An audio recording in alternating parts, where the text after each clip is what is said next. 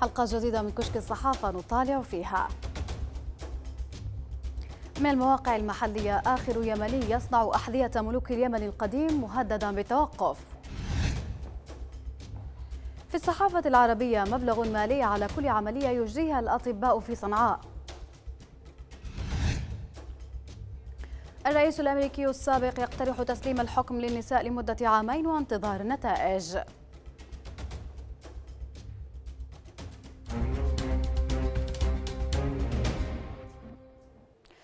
أهلا بكم. بينما يقف الملك يصدق إيل فرعم شرح ملك أوسان بحذائه اليمني حاملا الرقم نام 609 في متحف عدن الوطني. يفتتح صانع أحذية الملوك الأخير دكانه كل صباح في سوق المنقالة بصنعاء القديمة. يمارس مهنته التي توشك على الانقراض في صناعة الصارم وعنون موقع أنسام. أحذية ملوك اليمن القديم وحكاية الصانع الأخير. من وادي مرخى أحد أودية شبوة شرق اليمن الذي أقيمت فيه مملكة أوسان. جاء تمثال الملك يصدق أيل فرعم شرح واقفا في وضع تعبدي على قاعدة مربعة منحوت عليها اسمه برسم المسند ويعود تاريخه إلى القرن الخامس قبل الميلاد.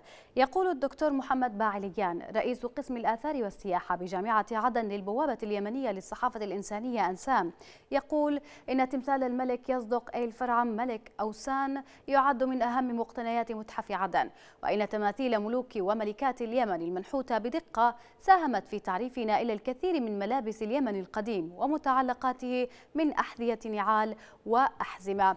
في الصباح الباكر يفتح أحمد محمد حسين عطا دكانه في سوق المنقالة صنعاء القديمة. ليبدأ يومه في صناعة الأحذية التي يتفنن بصناعتها واستقبال زبائنه وقال عطا للموقع. تعلمت هذه المهنة من والدي وبدأت بمزاولتها وأنا في العاشرة. أبي وجدي كانوا يعملون بها. بحسب عطا فإن هذا الحذاء الذي يقوم بصناعته من جلد البقر يسمى بالطرار الصارم والقدامى. وأن معظم كبار السن في صنعاء القديمة لا يرتدون غير هذا الحذاء. بعض الشباب الآن يأتون لشرائه من باب الارتباط بالتراث فقط لكن لا يوجد إقبال كبير. قال برنامج الأغذية العالمية بحسب موقع المصدر إن المستفيدين من المساعدات الغذائية في اليمن زاد العام الجاري بنحو 50% ليصل عدد المستفيدين من البرنامج إلى 12 مليون يمني مقارنة ب 8 ملايين مستفيد العام الماضي. وأضاف البرنامج أنه وبرغم المساهمة الكبيرة التي يقدمها البرنامج في اليمن إلا أنه لا يزال ما يزيد عن 11 مليون شخص في اليمن يكافحون بشكل يومي من أجل الحصول على ما يكفيهم من الغذاء.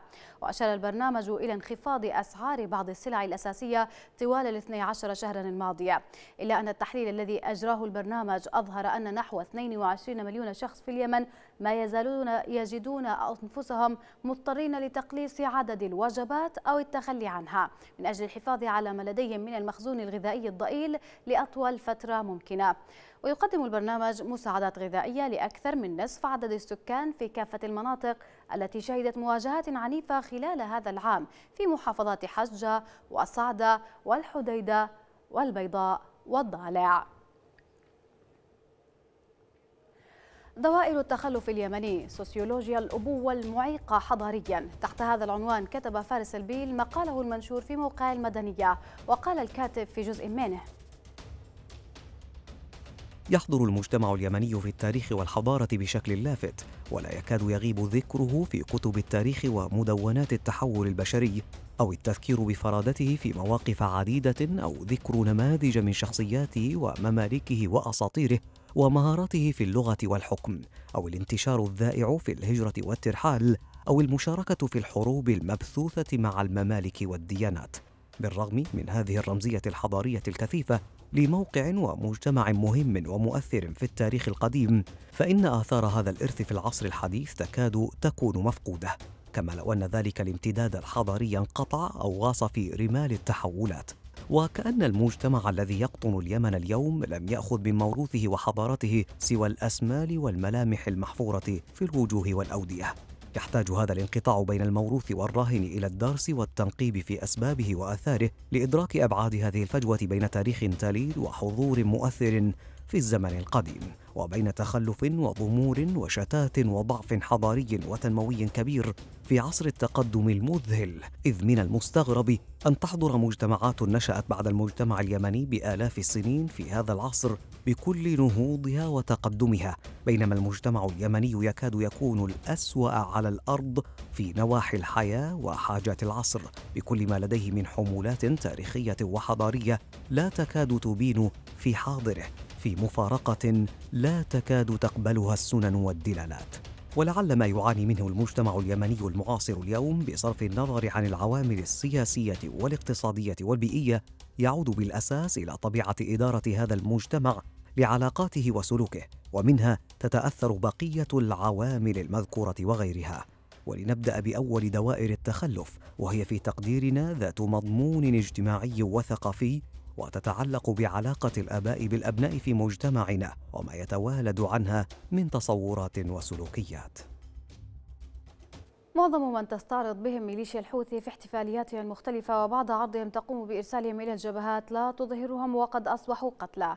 وفقا لموقع الصحوانات ميليشيا الحوثي تشيع العشرات من قتلاها وأكدت مصادر مطلعة مقتل أكثر من عشرين عنصرا من ميليشيا الحوثي الإنقلابية اليومين الماضيين في جبهات الطالع. وارتفع عدد القتلى من الميليشيا الحوثية إلى 21 قتيلا من أبناء محافظة إب بعد تشييع أربعة من قتلاها بالرضمة ويريم. وأكد مصدر طبي في محافظة إب استقبال مستشفى خاص بالمدينة ل 25 جريحا من الميليشيا أصيبوا جراء مواجهات في جبهات شمال غرب الضالع. وكانت الميليشيا الحوثية قد شيعت نهاية الأسبوع الماضي أكثر من 15 عنصرا من قتلاها في مختلف مديريات المحافظة.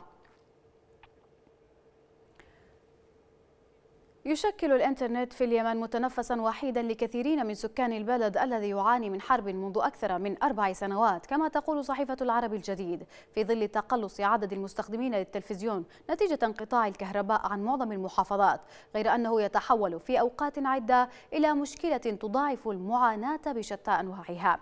يواجه الإعلامي عبد اللطيف الواشلي صعوبة في إرسال التقارير التلفزيونية للقناة التي يعمل مراسلا لها من صنعاء.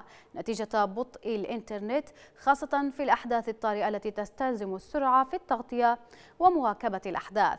تفتقر اليمن إلى البنية التحتية للاتصالات بشكل عام إذ ما زالت المؤسسة العامة للاتصالات والإنترنت تستخدم الأسلاك النحاسية عبر خدمة ال AD SL وهي قديمة جدا أنشئت لغرض الاتصالات الهاتفية. المهندس زكريا الكيناعي وهو أحد مؤسسي حملة تحسين الإنترنت في اليمن قال إن هذه الشبكة ضعيفة وقديمة جدا وغير قادرة على توصيل خدمة مناسبة للمواطن علاوة على أنها غير متوفرة في المناطق في الكثير من المناطق في العاصمة وبعض المحافظات اليمنية. إلى جانب بطء الخدمة تعد أسعار الاستهلاك للإنترنت في اليمن مكلفة جدا ما يشكل صعوبة كبيرة في الحصول من قبل الكثير من سكان البلد الذي يقع 80% منهم تحت خط الفقر. غسان شربل يكتب في صحيفة الشرق الأوسط عن مشاعر مواطن عربي يعيش في لندن ويتابع الانتخابات وصعود وهبوط الحكومات ويشعر بالألم لما يحدث في بلده الأصلي. وقال غسان استيقظ باكرا. هذا يوم استثنائي في حياته. سيقترع في الانتخابات البريطانية. سمع رفاقه في العمل يقولون إن ممارسة حق الانتخاب واجب لا يجوز التنازل عنه وإنه فرصة للمشاركة وممارسة الرقابة والتصحيح. وإن الإنجازات ليست ممرا لإقامة مفتوحة وإن تشرشل الكبير عاقبته صناديق الاقتراع. وإن مارغريت تاتشر التي كسرت غرور الجنرالات الأرجنتينيين وأعادت العلم البريطاني إلى فوكلاند. انحنت هي الأخرى أمام مشيئة صندوق اقتراع. الديمقراطية لا ترحم. شارل ديغول المديد القامة واللامع التاريخ خذله الفرنسيون في استفتاء فانكفأ إلى التقاعد في قريته. قرأ في الصحف أنها انتخابات حاسمة. وهي كذلك بالنسبة لعلاقة بريطانيا بأوروبا وربما بالنسبة إلى وحدة المملكة المتحدة نفسها. انتخابات حاسمة لكنه لم يشم في شوارع لندن رائحة حرب أهلية مقتربة رغم عمق الانقسام. يبتسم. هذه شعوب قاتلت وتعلمت واستنتجت طردت صحن الحرب الأهلية من وجباتها. الحرب الأهلية اختصاصنا. تذكر المشاعر المتضاربة التي اجتاحته حين منح الجنسية البريطانية هبت عليه رياح الثقافة الريفية القديمة هل يخون المرء وطنه حين يحتمي بجواز أجنبي كي يحرم سفارة بلاده الأصلية من متعة إذلاله ومعاقبته على أفكاره أو مواقفه أو حياده؟ وهل يعني الجواز الجديد قطع تلك الشرايين التي تربطه بالتراب والأغاني والنشيد الوطني؟ وهل صحيح ما يقوله رفاقه الجدد بأن عظام أجدادك ليست أهم من مستقبل أحفادك؟ يحب بلاده لكنه كان فيها صفرا وخائفا وممتهنا. كان عليه دائما أن يخشى وأن يتملق وأن يخفي رأيه ومشاعره. كان عليه أن يشيد بالمطرب المعتمد رسميا وأن ينوه بالعناوين المتشابهة للصحف التي تصدر استنادا إلى الحرية المسؤولة. كان يخاف من مندوب الحزب في الحي لأنه مندوب المخابرات أيضا. تقرير صغير منه يدفعك إلى بوابات الجحيم. الصحافة العربية تتحدث عن سيطرة ميليشيا الحوثي على مرافق الحياة في صنعاء وكيف تنهب جميع القطاعات وعنونت صحيفة الشرق الأوسط. جبايات حوثية جديدة في صنعاء تهدد بنسف القطاع الطبي. وقالت الصحيفة إنه استمرارا لمسلسلها الذي كانت بدأته قبل أشهر قليلة ماضية عاودت الميليشيات الحوثية الإنقلابية استهدافها المباشر والممنهج لما تبقى من المنشآت الطبية والصحية في العاصمة صنعاء وتحت ذريعة ضرائب الدخل هذه المرة. وكشفت مصادر طبية في صنعاء عن تنفيذ الميليشيات الأسبوع الحالي حملات ابتزاز ونهب. طالت أكثر من 13 مستشفى خاصا في صنعاء الواقعة تحت سيطرتها بهدف فرض جبايات وإيتاوات جديدة وغير قانونية. وعدت المصادر أن الهدف من الحملة الحوثية هو التضييق على من تبقوا من منتسبي القطاع الخاص الطبي في أمانة العاصمة. واستفزاز الناس وحرمانهم من التداوي وتلقي العلاج في تلك المستشفيات والمرافق الصحية الأخرى وتوفير بيئة لتفشي الأمراض والأوبئة. وبحسب المصادر فإن التدابير الحوثية القمعية التي طالت المؤسسات الصحية الخاصة في صنعاء. لم تشمل في الوقت نفسه المستشفيات الأخرى الخاصة التي تعود ملكيتها لقيادات حوثية بارزة كما أن الميليشيا فرضت من خلال حملتها الجديدة على المستشفيات المستهدفة ضرائب مالية عن كل عملية جراحية يجريها كل مستشفى. وكشف أطباء وعاملون صحيون بعدد من المستشفيات المستهدفة عن تلقيهم أثناء نزول الميليشيات المسلحة إليهم الأسبوع الحالي. أوامر تفرض ضريبة على كل عملية يجريها أي طبيب في المستشفى بنسبة 4% إذا كان لدى كادر المستشفى رقم ضريبي. أما إذا لم يكن لديه رقم ضريبي فتتم مضاعفة النسبة إلى 15% محكومون بمئة عام من العزلة.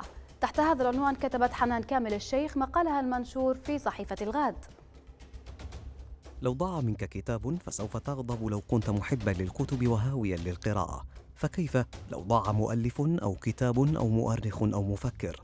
أعتقد أن خسارة هؤلاء من نوع الخسارات التي لا يمكن أن تعوض بعد غياب أصحابها. ولو جاء من بعدهم أجيال مؤلفون ومؤرخون جدد. بسبب العزيمة المختلفة والنكهة والدوافع والأساليب. ربما لا يعتقد شباب الجيل الحاضر بأهمية خبر رحيل أشخاص مثل هؤلاء لأنهم في الأصل غير معنيين بغياب الرواية والتاريخ واللغة والاقتباس. لذلك فالذين يشعرون بالحزن على كتاب ومؤرخين وشعراء وفنانين يقدرون فرضية تلاشي الرواية الحقيقية للأحداث بفقد الرواة والمؤرخين فنا وكتابة وتوثيقا. عصام سخنيني مؤسس مركز الأبحاث الفلسطيني في بيروت منتصف العقد الماضي سعى طوال حياته المهنية إلى جمع الوثائق المتصلة بالصراع العربي الصهيوني ومقابلتها بشلال من الأبحاث والدراسات الميدانية سعت إلى تفنيد المغالطات التاريخية عبر منهج علمي محترم. وبغياب مثل هذا المنتج المحارب تفتقد فلسطين حرفيا جبهة علمية وفكرية كانت قادرة على الرد بل وتستبق الادعاء الباطل بفرش الحقائق والدلائل استباقيا. وللحقيقة فإن ما قام به صالح علماني يعد نقلة نوعية في تنوع ذائقة القراء. وتشكيل اتجاهاتهم بل واقتباساتهم التي تعبر عن خواطرهم لذلك. فإن غياب مثل هذا المبدع الفذ الحساس المنتمي ضمنيا لحكايا الفقراء ومتوسطي الدخل خسارة فادحة سيكتشفها الجمهور بعد أعوام. يقول جابريل غارسيا ماركيز قبل أن يصل إلى بيت الشعر الأخير كان قد أدرك أنه لن يخرج أبدا من ذاكرة البشر في اللحظة التي ينتهي فيها أوريليانو بويندا من حل رموز الرقاق وأن كل ما هو مكتوب فيها لا يمكن أن يتكرر منذ الأزل إلى الأبد لأن السلالات المحكومة بمئة عام من العزلة ليست لها فرصة أخرى على الأرض. أزمة دبلوماسية بين بلدين. والسبب وفقا لصحيفة القدس العربي. حديث وزير داخلية إستونيا عن أصغر رئيسة وزراء في العالم وعنونت الصحيفة. إستونيا تعتذر لفنلندا بسبب إطلاق وزير داخليتها هذا الوصف على أصغر رئيسة وزراء في العالم. وقالت الصحيفة إن دولة إستونيا قدمت اعتذارا رسميا إلى فنلندا على خلفية وصف وزير داخليتها مارت خيلمي رئيسة الوزراء الفنلندية الجديدة سانا مارين بالبائعة. وتسبب وصف خيلمي لمارين أصغر رئيسة وزراء في العالم 34 عاما البائعة خلال مشاركته في برنامج تلفزيوني في وقت سابق بأزمة بين البلدين. وقدمت رئيسة إستونيا وهي دولة تقع في منطقة بحر البلطيق بشمال أوروبا اعتذارا اعتذار بلادها الرسمي عبر رسالة إلى نظيرها الفنلندي ساولي نينيستو معربة عن أسفها من الحادث. وقال وزير الخارجية الفنلندي السابق أورماس بايت في تغريدة عبر تويتر إن كلام خيلمي أضر بالعلاقات الإستونية الفنلندية ويجب إقالته جراء ذلك. وفي السياق ذاته تضامن العديد من الوزراء الإستونيين مع مارين التي كانت تعمل بائعة في شبابها عبر مشاركتهم لوسم نفتخر بها في المنصات الاجتماعية. كما نشر نفس الوزراء صورهم وهم يبيعون الصحف ويقودون الحافلات في شبابهم. في تفسير احتجاجات العرب بحث الحكام والمواطنين عن عقد اجتماعي جديد. تحت هذا العنوان كتب عمرو حمزاوي مقاله المنشور في صحيفة القدس العربي مضيفا. كانت حركة التحرر الوطني التي اجتاحت العالم العربي في أعقاب الحرب العالمية الأولى 1914 1918 وتمكنت بعد الحرب العالمية الثانية 1939 إلى 1945 تمكنت من إجلاء المستعمر الأوروبي البريطاني والفرنسي. قد نزعت إلى إعلان الجمهورية لكي تملأ الفراغ السياسي الذي خلفه رحيل الإدارة الاستعمارية. إلا أن صعود ضباط الجيوش كحكام للجمهوريات امتد إلى أبعد من البلدان التي تصدى بها العسكريون لقيادة حركات التحرر فقط في تونس ولبنان ولم يستطع العسكريون مناوئة حكم المدنيين. غير أن نخب الحكم المدنية والعسكرية تشابهت في إدارتها لشؤون المجتمع والسياسة والاقتصاد في الجمهوريات وأنتج ذلك نظما سلطوية استحوذ بها الحكام على صلاحيات مطلقة وتحللهم ومؤسساتهم التنفيذية من مقتضيات الرقابة والمساءلة والمحاسبة واستتبعوا بها المؤسسات التشريعية والقضائية والدينية. استقرت إذن النظم السلطوية في الجمهوريات وتحول حكامها عملا إلى رؤساء مدى الحياة وصنعت من حولهم هالات القادة الملهمين والأبطال المنقذين وتركت لهم الأغلبيات العربية شؤون السياسة والاقتصاد دون كثير معارضة. بين تسعينيات القرن العشرين وانتفاضات 2011-2012 واجهت نخب الحكم السلطوية حراك الأغلبيات تارة بالقمع وأخرى بالانفراجات الديمقراطية الجزئية تارة بتقديم التنازلات الاقتصادية والاجتماعية للأغلبيات.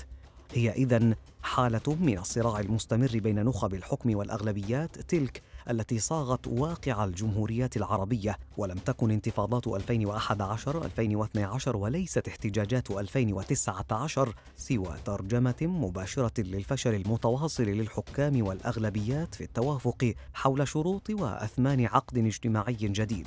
قد يبيح للجمهوريات من جهة التحلل من مسؤولياتها الأبوية تجاه الفئات الفقيرة ومحدودة الدخل ويحرر المواطنين من جهة أخرى من واجبات طاعة الحكام ويخضع هؤلاء لإجراءات الرقابة والمساءلة والمحاسبة. نواصل متابعتنا لمحاولات الديمقراطيين عزل الرئيس الأمريكي المثير للجدل دونالد ترامب حيث تعنون صحيفة الجارديان البريطانية. مساعي العزل الديمقراطيون يخسرون سواء مضوا أم تراجعوا. تقول الصحيفة فكرة أن جهود العزل سوف تضر بحملة الرئيس دونالد ترامب الانتخابية المقبلة هي فكرة ترتكز على أسطورة وجود مرشح جمهوري معتدل وهو شيء غير موجود تضيف الصحيفة. الجميع يعلم أنه حتى لو نجحت جهود عزل ترامب عن منصبه من قبل مجلس النواب فإن مجلس الشيوخ لن يسمح بتمرير الخطوة التالية. وسيكون التصويت في مجلس الشيوخ دون شك رافضا لعزل الرئيس على أسس حزبية. حتى نواب الحزب الديمقراطي في الكونغرس يعرفون أن جهود العزل لا تلعب دورا جيدا على الصعيد السياسي لأن الناخب الذي يميل للتصويت إلى الديمقراطيين سيشعر بالتشويش بسبب كثرة الاحتمالات في هذه المساعي. ويفيد التقرير الذي ترجمته البي بي سي في النهاية الديمقراطيون خاسرون سواء أكملوا مساعي العزل أم أوقفوها لكنهم أوضحوا للجميع كيف يقوم ترامب بإساءة استخدام السلطة وعرقلة جهود الكونغرس. الرئيس الأمريكي السابق باراك أوباما يقترح أن تحكم النساء العالم سنتين. وقال وفقا للبي بي سي أيتها النسوة أريد أن أحيطكن علما بأنكن لستن مثاليات ولكني أستطيع القول بشكل لا مجال للشك فيه بأنكن أفضل منا أي معشر الرجال. ومضى الرئيس الأمريكي السابق للقول أنا على ثقة تامة بأنه لو قادت النساء كل دول العالم لسنتين سنرى تحسنا ملحوظا في كل المجالات من مستويات المعيشة إلى النتائج النهائية للصراعات. وعندما سئل عن إمكانية عودته إلى المعترك السياسي قال إنه يؤمن بأن على القادة أن يتنحوا عن الحكم عندما يحين الموعد المناسب. وقال إذا نظرتم إلى العالم والمشاكل التي يواجهها سترون سبب هذه المشاكل الأساسي هو رفض كبار السن ومعظمهم من الرجال التنحي عن مواقعهم. وأضاف من المهم للزعماء السياسيين تذكير أنفسهم بأنهم يوجدون في مواقعهم لأداء عمل معين ولكنهم ليسوا في تلك المواقع مدى الحياة. لستم في مواقعكم لدعم شعوركم الشخصي بالأهمية. احتجاجات وحرائق وعدم خروج بريطانيا من الاتحاد الأوروبي وإجراءات الديمقراطيين لعزل ترامب إنها أهم أحداث عام 2019 كما برزت قضايا سياسية واجتماعية واعتداءات إرهابية عديدة. الدي دبليو تنشر عددا من أبرز صور أحداث العام نتابعها في جولتنا المصورة لهذا اليوم.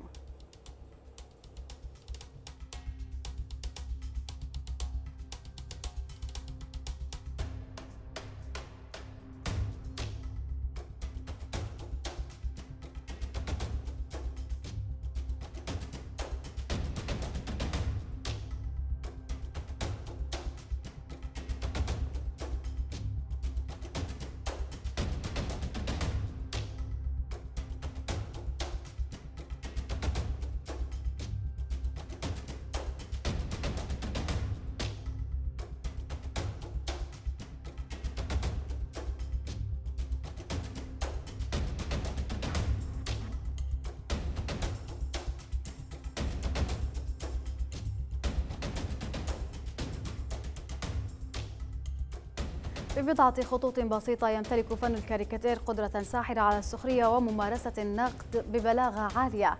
بل يمكن القول إن البلاغة إنه البلاغة إلى أقصاها. رسالة من الفنان إلى المشاهد في سياق مشترك قائم على بنية الواقع الذي يعيشانه معا. نتابع.